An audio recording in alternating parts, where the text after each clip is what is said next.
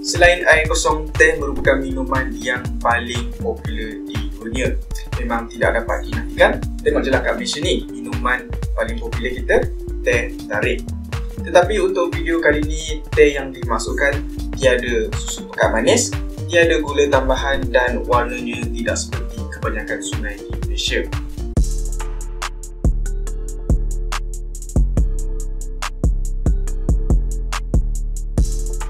Assalamualaikum dan apa khabar semua Coach Aizat di sini.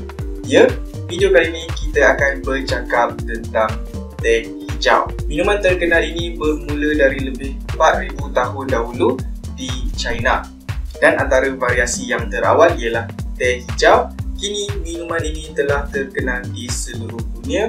Sebahagian besarnya disebabkan oleh manfaat kesihatan yang terbukti dan dikaji dengan menyeluruh seperti dapat mengurangkan risiko kanser tertentu, mengurangkan risiko penyakit seperti kencing manis dan penyakit kardiovaskular dan juga dari aspek psikologi boleh improve mood. Tetapi dalam video ini kita akan fokus kepada sifatnya yang berkenaan dengan pengurangan berat badan dan juga pembakaran lemak. Dalam daun teh terdapat dua kompaun utama yang memberikan manfaat terbesar. Pertama ialah kafein dan yang kedua ialah katekin.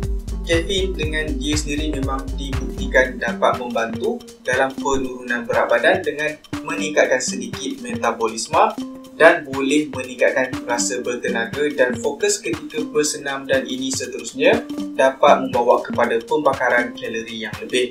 Walaupun kandungan kafein dalam teh hijau kurang berbanding dengan kopi tetapi anda boleh mendapat manfaat yang sama dan nilai kafein yang sama boleh dicapai kalau anda minum dua cawan ataupun lebih teh hijau. Tetapi satu lagi kompaun ini ada pada teh hijau tetapi tak ada pada kopi iaitu katekin. Lebih kurang 1 per 3 daun teh hijau mengandungi 4 jenis katekin. Dan yang paling kuat di antaranya ialah katekin jenis EGCG. EGCG menggalakkan proses lipolisis iaitu penguraian lemak ataupun pembakaran lemak untuk digunakan sebagai tenaga dan juga kesan ini akan bertambah kalau dipasangkan dengan kafein. Jadi baguslah kan green tea ni boleh menggalakkan pembakaran lemak. Tetapi ada dua perkara yang anda perlu tahu.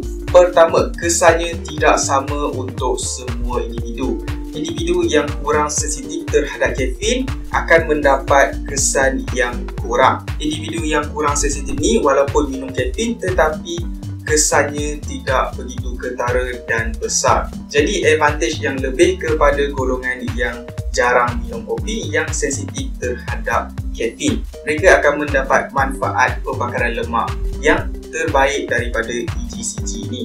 Okey, perkara kedua yang anda perlu tahu ialah kesan pembakaran lemak daripada EGCG ini bermula lebih kurang daripada 400mg dan satu cawan teh mengandungi lebih kurang 50mg EGCG.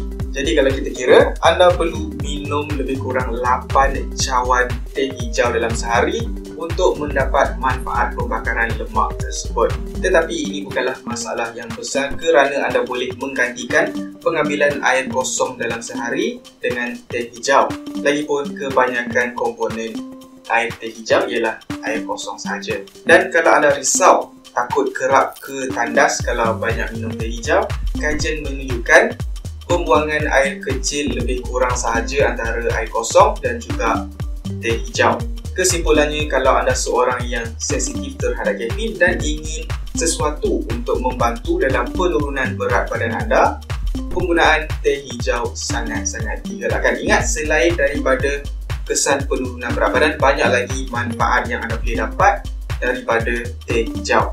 Ingat, untuk penurunan berat badan anda perlu mencapai kalori defisit. Jadi, di samping minum air teh hijau tersebut, anda perlu menjaga pemakanan dan juga senaman yang secukupnya.